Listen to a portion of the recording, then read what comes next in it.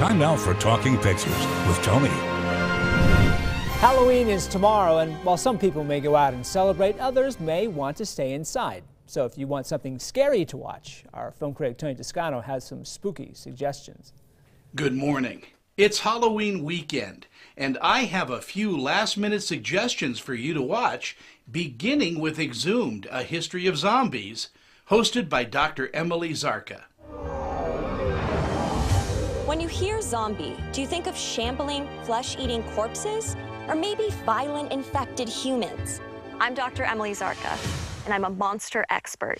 Zombies have been consistent across our culture, pop culture, for hundreds of years now, and I don't see that changing anytime soon. And in modern day, I think it started with really uh, a resurgence in George Romero's Night of the Living Dead. Um, we revisited the zombie lore, and, and he kind of changed what that was.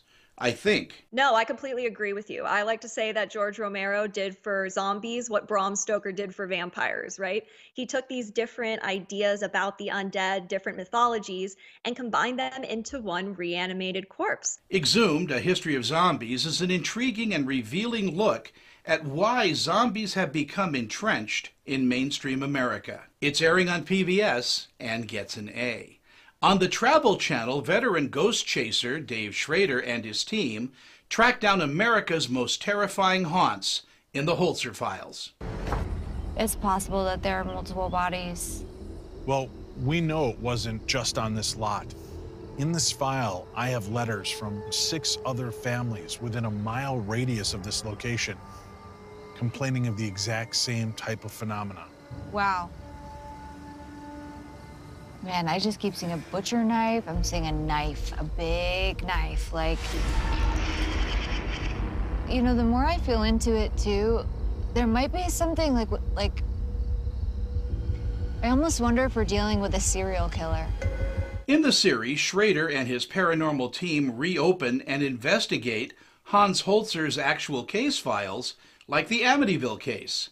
I chatted with Dave about the series what is the biggest misconception that people have about uh, the other world or supernatural events or ghosts? I think, you know, many people uh, immediately go to being terrified. And that's it, right? We're afraid of things we don't understand. On our show, it would be easy to jump to it's a demon because it did something unnerving.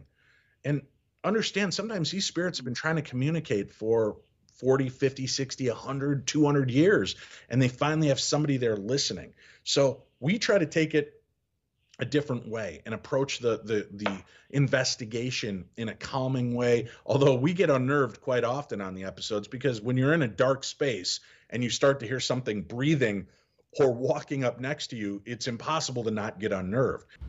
Was that just a scream? Did you hear that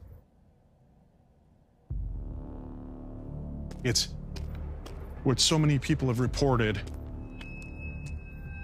A scream that came from this area.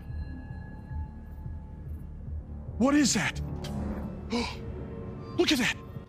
The Holzer Files is a real life jump scare fest, and if you like to be scared, it's really fun to watch. Again, it's airing on the Travel Channel and gets an A opening in selected theaters and on all video on demand platforms, is the horror thriller Spell. In the film, a man crash lands in the backwoods of the Appalachians and discovers he and his family are in danger of being used in a sinister ritual.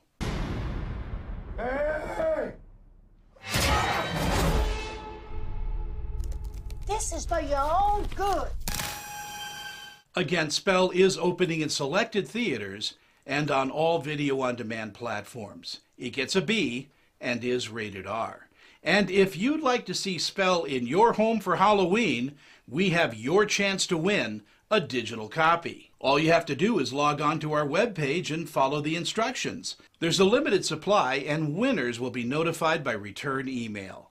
Have a happy Halloween. For ABC4, I'm film critic Tony Toscano.